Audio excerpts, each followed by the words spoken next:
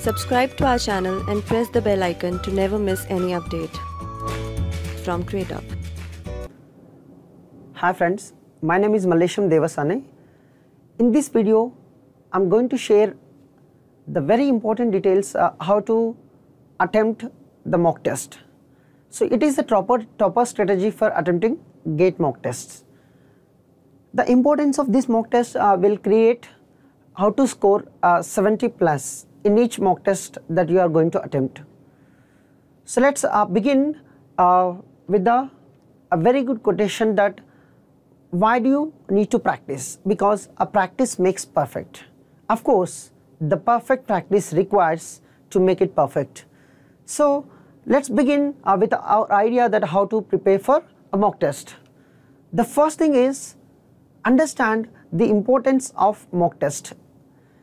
So when you prepare uh, for GATE, it looks like that you learnt uh, so many concepts, but uh, when you practice the mock test, the so many things which comes to your mind, your prepared topics, uh, sometimes you may not recall in proper way and you may forget the concepts, but this mock test will help you uh, to make a very good revision on the uh, preparation.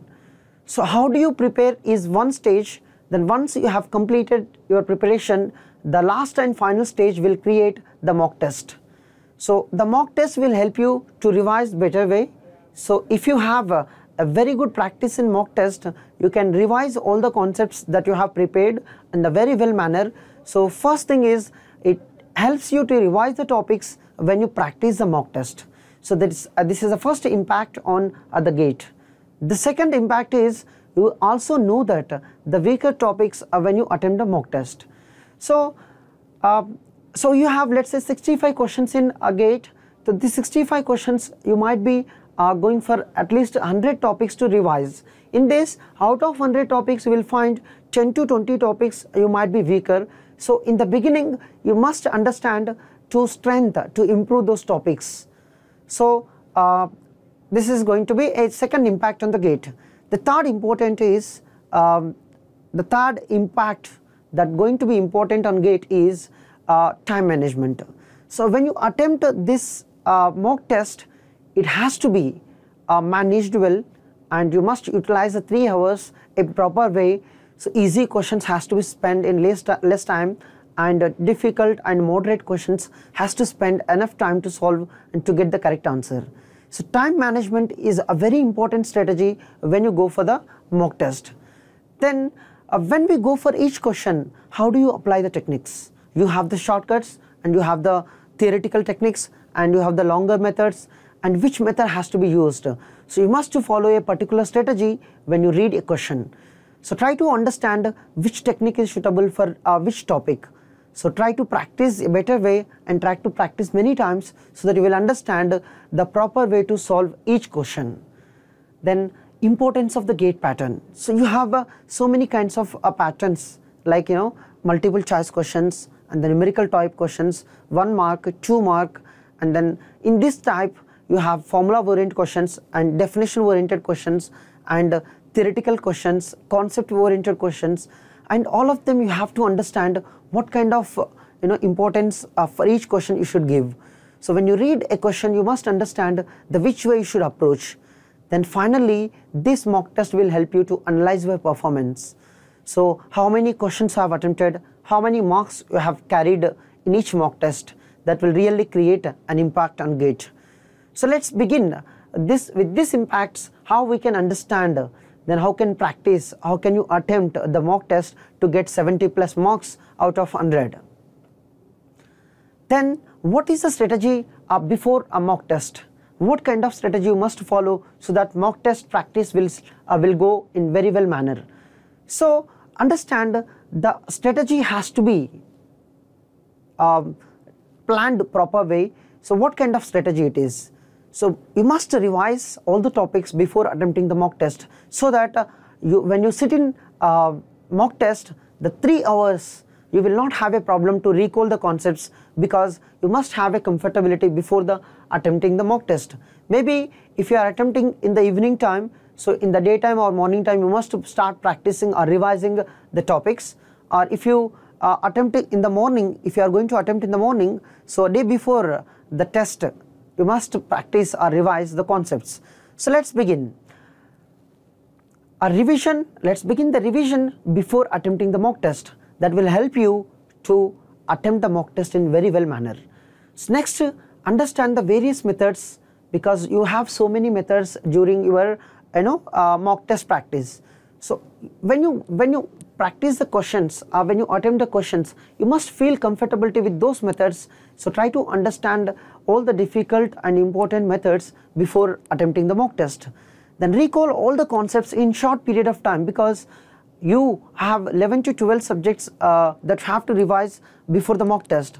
So you must make a short notes and that should create a very good impact in short period of time. Then try to read uh, short notes instead of reading entire notes. If you want to prepare entire notes in the revision, it takes one day to revise in one subject. Sometimes one day may not be sufficient to read one subject, but your target is to revise 11 to 12 subjects in one day. So you must plan a short notes to prepare or revise all these topics, important topics in one day. Then look for topics which are very important.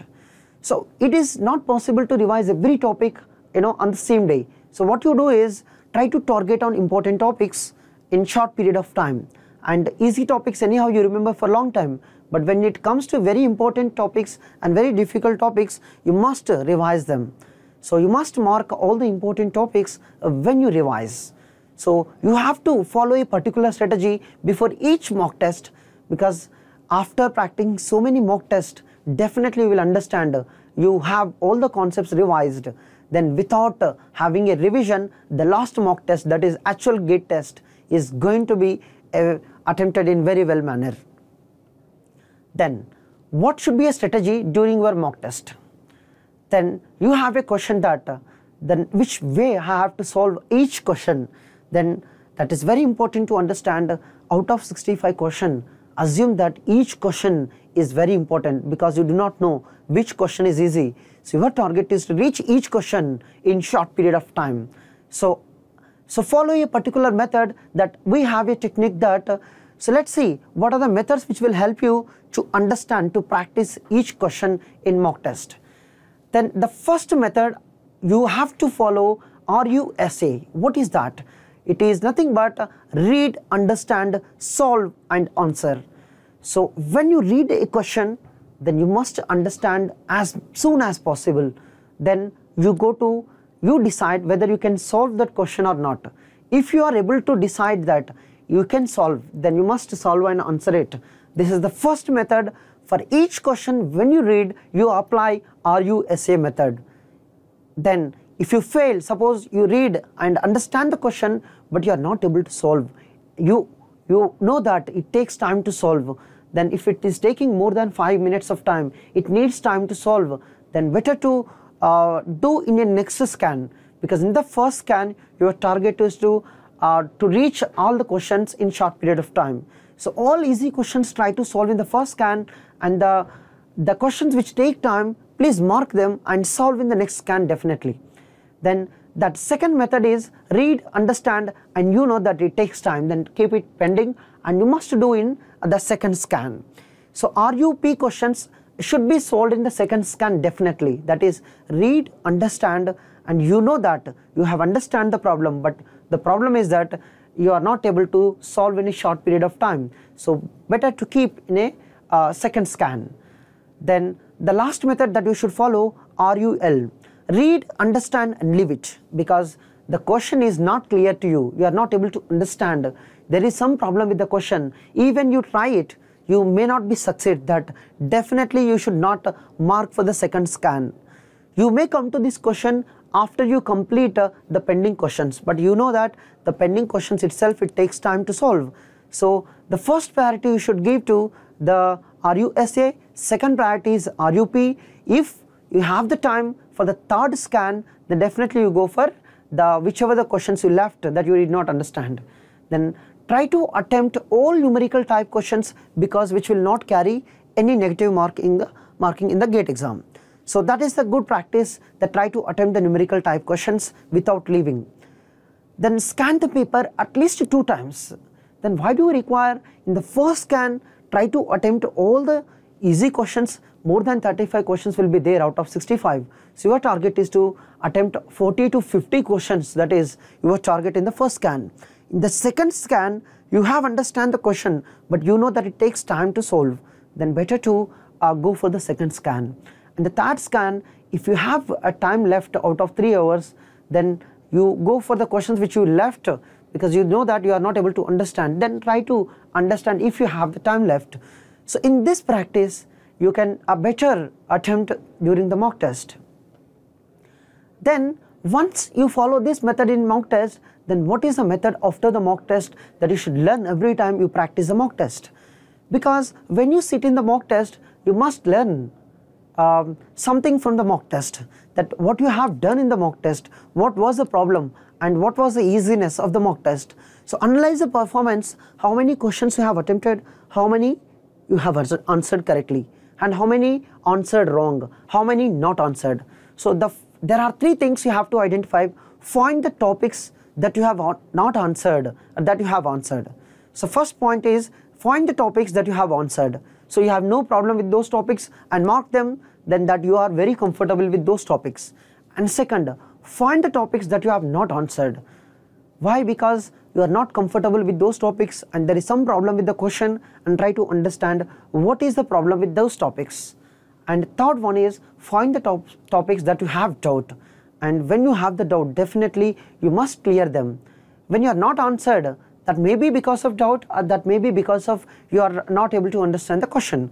So better to clear the second and third with a very good effort so that uh, you will not have the same problem for the same topic in the next mock test. So that is you are trying to be strong in the second and third point. The first point anyhow you are very strong. The second and third point it's a very important you need to uh, improve your weaker topics and make it strength as uh, soon as possible after completing the mock test. Then, which mock test is better in the kit? See, uh, I can say that the mock test has to give you uh, impact on your preparation, impact when you sit in the uh, gate. So, look at uh, the which mock test will create impact on your preparation. That is they should distribute the mocks uh, to all the topics of syllabus and the same questions will not repeat in each mock test. Then difficulty level of question should be as per gate and uh, a balance of a complete paper is required and importance of gate pattern. That is the question should be similar to the gate and it has to be and practiced in, in a very well manner so that you will uh, feel comfortability with the actual gate. So whichever the mock test will give you impact with these points, please join those test series and they will definitely create some impact on you to understand, uh, to, uh, to understand all the topics and to revise all the topics in better way. So try to identify, try to read the reviews of uh, your friends and seniors and follow them to a join mock test, mock test series.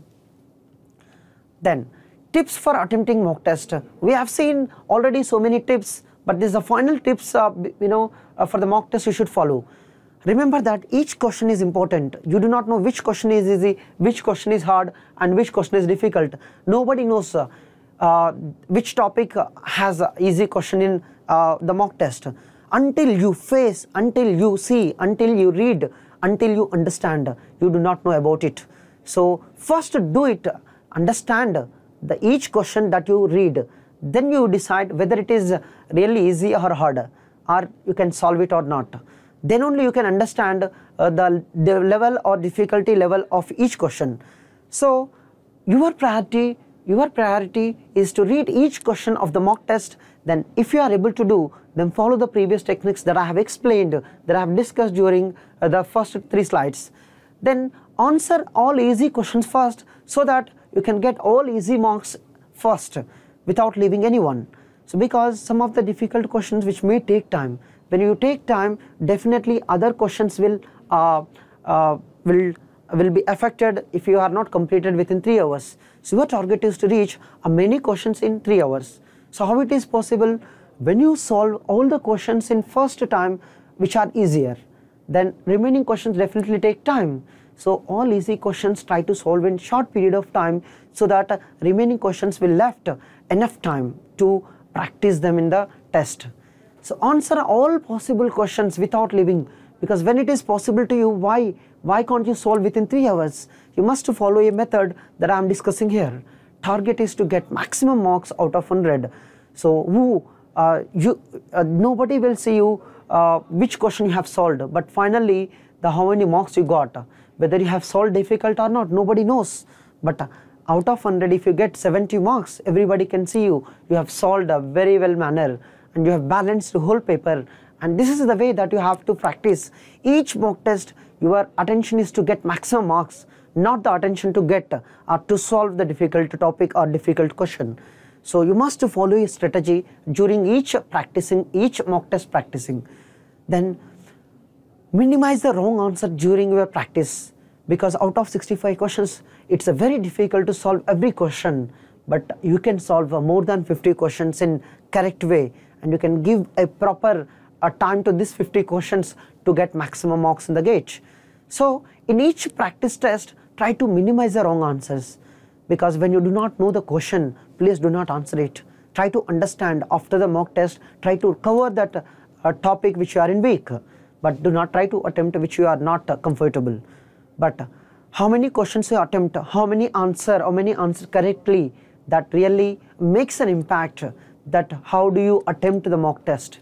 Then prepare the physically and mentally uh, for each mock test that how you balance your you know physical ability and mental ability that because when you sit for 3 hours if you do not uh, keep attention if you do not uh, focus on each question then definitely you are going to lose your concentration and after uh, one hour, one hour or two hours you are going to deviate from the test. So definitely you must know a method that uh, how can you involve three hours without any break. So of course one or two minutes you can take a break within three hours so that will not um, make an impact in three hours but it will balance the three hours. So you have to understand so many times you must deviate, you must allot, you must allot your 3 hours time to practice a mock test. So try to practice a mock test without any deviation that makes you impact how do you attempt actual gate. So 3 hours test is really important for you. So you have to practice at least 100 times before, before attempting the actual gate. So that you will learn, that you will learn better way that how you should balance the 3 hours. Then when should I attempt mock test? So this was the question from uh, many students and I am facing almost every day that uh, one question from the student, what is the right time to should, uh, should, I, should I attempt the mock test? Then actual right time is if you are already prepared in the last year and you are just revising the concept this year, then you should start as soon as possible as the second point I have discussed. But if you are preparing this year, then you must start after completing at least 6 to 8 subjects of whole syllabus because without having 6 to 8 subjects if you go to the mock test then mock test covers almost every subject. Then out of 65 if you do not attempt 50 questions there is no use of attempting the mock test. But uh, see you must understand how do you balance entire 3 hours. So you should read each question and you should try to understand each question and if you are able to solve it you should solve that question. If you want to practice this you must complete at least 68 subjects then you should practice. You should start attempting the mock test to understand how many marks you can get in each mock test. So if you do this at least you know 40 to 50 questions you can answer from 6 to 8 subjects. So this is a very important if you are preparing this year so by September you must complete uh, the maximum portion of your gate syllabus then you can start practicing the actual mock test because September, October, November, December you can practice nearly 100 mock tests that you have uh, offline and online uh, test series. So even here the same mock test you can practice any number of times to understand the time and to understand the techniques in shorter way and to practice the same question and many times. This is really important when you uh, practice a mock test. So please try to understand which is the right time for you and which is the uh, best mock test for you to practice. Then what is the universal truth uh, to attempt a mock test? practice makes a man perfect. That means, how do I practice it? See what Bruce Lee says that I fear not the man who has practiced thousand kicks once, but I fear the man who has practiced one kick 10,000 times. See, anyhow, he has not uh, having the fear that 10,000 kick once that he has practiced, but the one kick he has practiced thousand times means he has the perfection that how the same question you can solve many ways. So it is also a very good thing the practice the same mock test and more than 10 times which will tell you how the concepts can be recalled in faster way. So even you have the 20 to 40 mock test, practice as many as times the same mock test many times because that will tell you how to utilize your time, how to recall the concepts, how to switch one question to another, how to balance your time, how to continuously you know sit uh, for 3 hours uh, for the mock test. So this is very important. So how to kick the 10,000 times the same same one that means the same uh, gate same God gate mock test you must practice so many times then to understand what is actual at the gate so try to understand why this uh, quotation is really important for you of course it is finally this one kick 10000 times will help you the 10000 kicks you can do once automatically because you know one kick how to do many ways. So this kind of preparation is very important when you prepare for the gate especially. So I hope this video is really helpful to practice the mock test in better way and what is the right time and which mock test series is uh, right for you and this, this is really uh, very important for you and it is always welcome to come uh, grade up and you act, ask your questions whenever you have the doubts and there are so many aspirants are discussing and hundreds of questions every day and this really helps you to understand what kind of preparation they are doing every day and how do they ask and how do they clear other doubts.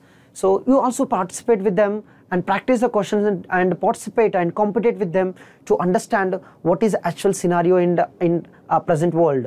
So thank you for watching this video and I'm going to share so many other videos which is related to the gate and thank you once again.